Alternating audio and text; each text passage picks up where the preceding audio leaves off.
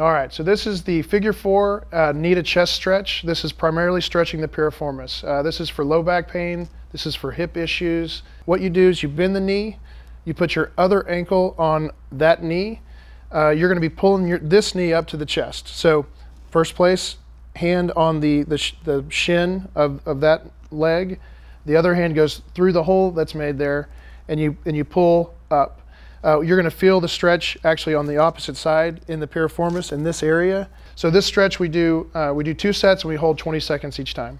Okay, so this stretch is difficult for a lot of people, um, and so if you find yourself bringing your head off the table too much, or you just can't get your hands around that way, there's there's a good um, alternative stretch that does the same thing. Where uh, Caitlin is going to have the leg coming off the table, the other knee bent, and then she's just going to simply come forward towards towards the table just like that.